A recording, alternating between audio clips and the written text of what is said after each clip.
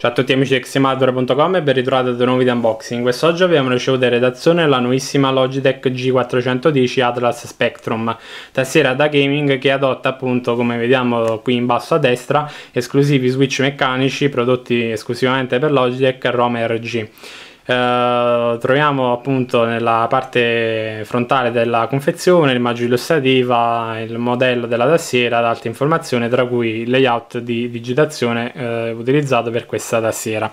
Nel retro della confezione troviamo ulteriori immagini illustrative circa le caratteristiche eh, principali della tastiera, tra cui anche la retroilluminazione RGB 16,8 milioni di colore e ovviamente le specifiche, le caratteristiche scusate, sono riportate in diverse lingue nella parte sinistra. All'interno della confezione troviamo un semplice opuscolo della setup guide per la tastiera, quindi ci verrà detto come scaricare il software dalla Logitech e altre solide informazioni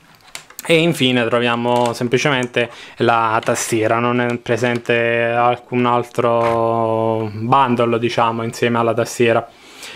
design abbastanza classico, colorazione interamente nera, eh, formato TKL quindi una tastiera molto compatta e ideale specialmente per coloro che viaggiano molto per eventuali tornei o comunque per coloro che amano le tastiere compatte, colorazione interamente nera quindi molto elegante di per sé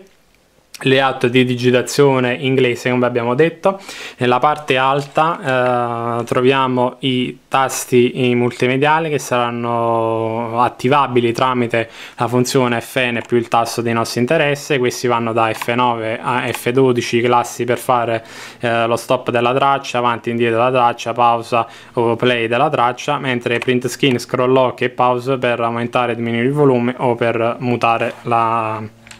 la traccia sonora. Eh, nella parte sinistra troviamo nella parte bassa eh, il beige con scritto G410 riferimento al modello questa piccola mh, mm, sagoma con un, un foro nell'angolo sinistro design abbastanza squadrato per la parte sinistra della tastiera mentre più classico eh, in quello di destra. Sempre in alto troviamo il logo mh, mm, G della serie gaming di Logitech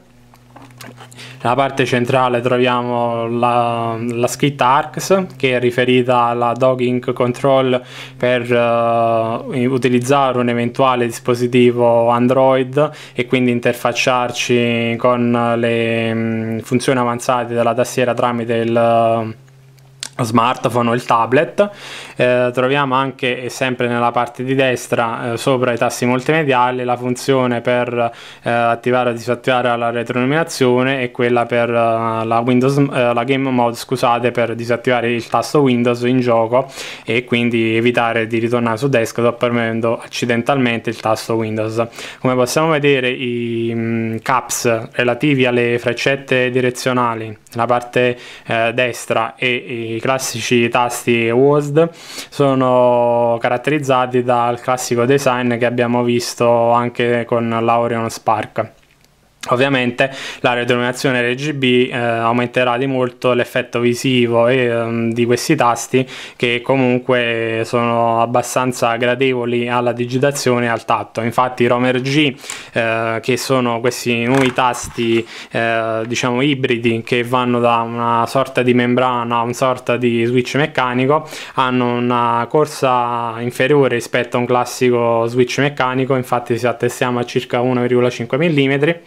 ed hanno anche una, un, cioè una, un feeling di digitazione, almeno in questo caso, simile a quello dei CRMX Red dei Kyle Red o qualunque altro switch meccanico scusate, di colore rosso come possiamo sentire non uh, hanno la particolarità di fare molto rumore come è solito dei cla classici tasti meccanici e quindi sicuramente sarà un punto a favore per uh, una sessione di gioco in uh, notturna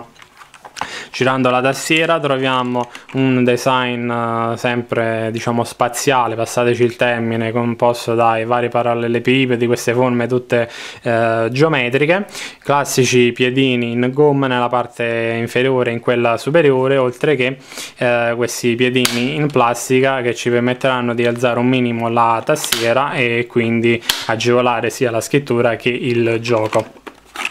Il clavo eh, USB è, non è rivestito in treccia di tessuto